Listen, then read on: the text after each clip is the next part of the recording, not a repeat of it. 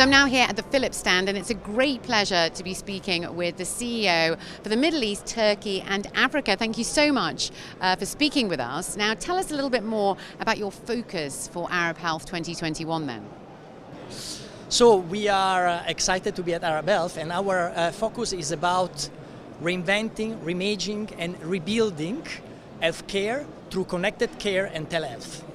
So I was telling is all about telehealth, and we have um, a, a, number of telehealth solutions spanning from uh, telepathology, telecardiology, tele-ICU. These are all solutions that connect um, specialists, patients, and hospitals in a kind of um, um, um virtual uh, network, allowing to um, get to our objective of the quadruple aim, so improving overall health outcomes, improving the uh, patient experience, the staff experience, and everything at a lower cost of care. Uh, truly, we were thinking if we would have participated to Arab Health or not. There has been a lot of discussion about that, about expectation in uh, customer willing to uh, join, to have a face-to-face discussion, and uh, to be uh, together in an environment where uh, we were not anymore used to.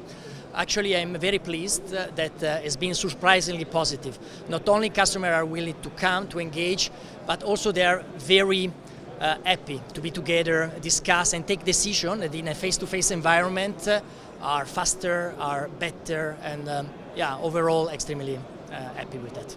Arab Health has always been an important platform. Uh, it was usually at the beginning of the year, it was perfect to set also the tone of the year, engaging with customer, agreeing on priorities, define business for short and mid and long term.